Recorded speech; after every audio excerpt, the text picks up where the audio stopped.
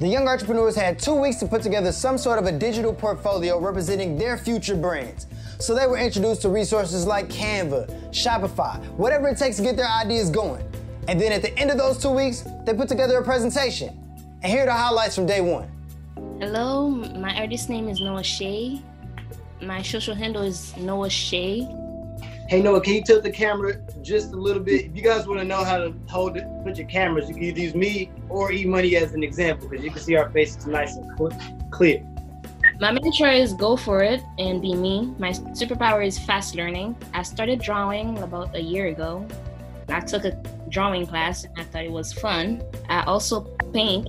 I started painting about like six months ago.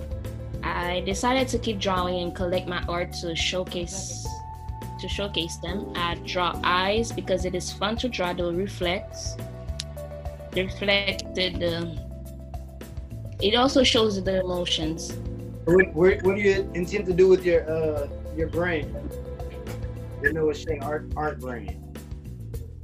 I intend to showcase my drawing on social media, especially Instagram.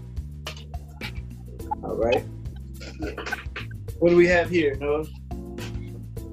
This was a dragon that I doodled during my sixth period class. It was fun time.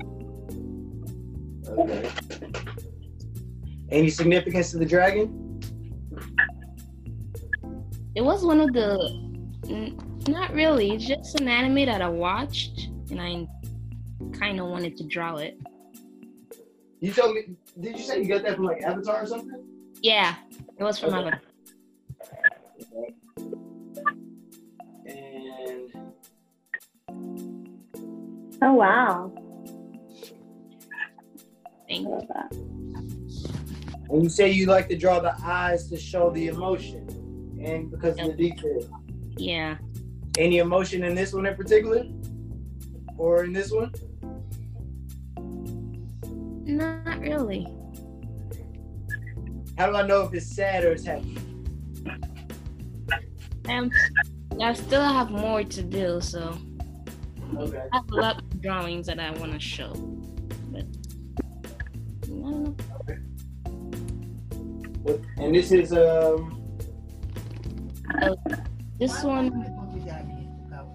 This is an art just to put my brand out there. Right, I like it. And then this last one. That was for the showcase. Wanted to know where and when I'm gonna showcase my art. All right, I love it. Nice job, Noah. Thank again, you. again, uh, E Money, they did all this in in, in uh two weeks or under two weeks, like five days. So.